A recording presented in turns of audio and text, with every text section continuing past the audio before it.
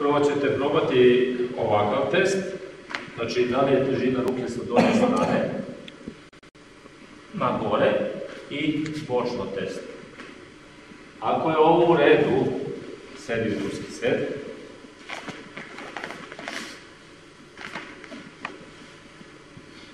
E, probajte da li je težina ruke u redu. Očigledno nije.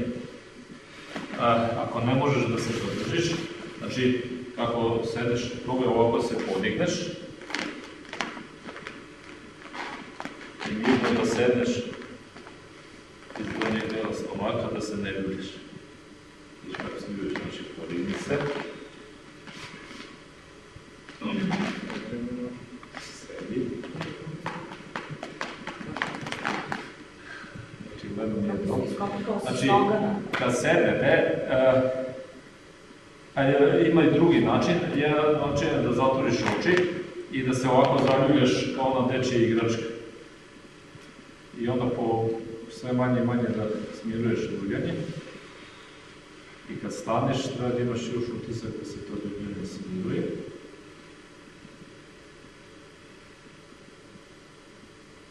Ovo je isto jedan način da pomoći da mirite tu. Test. Ovo je bolje. I sljedeći test je bočni. I ovdje.